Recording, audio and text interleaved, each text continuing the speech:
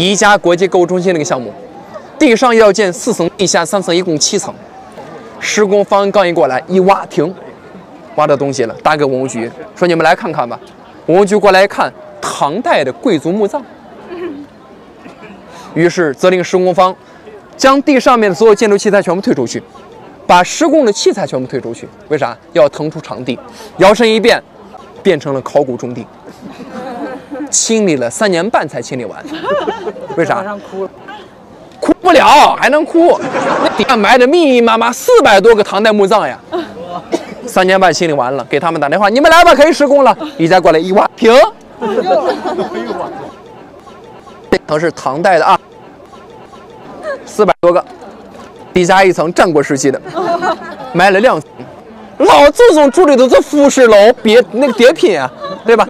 好不容易清理完了，有人说那宜家是不是会哭晕在厕所呀？不会，为啥？别忘了，就在前两年，西安刚升一新一线城市，知道吧？地价翻了五倍啊！也就是说，宜家这个楼我不盖了，我把地卖出去，比盖两栋楼赚的钱还要多。